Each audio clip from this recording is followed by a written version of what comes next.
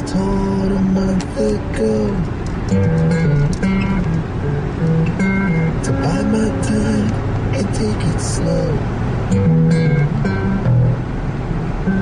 But then I learned just yesterday to rush and never waste the day. Now I'm convinced the whole day long.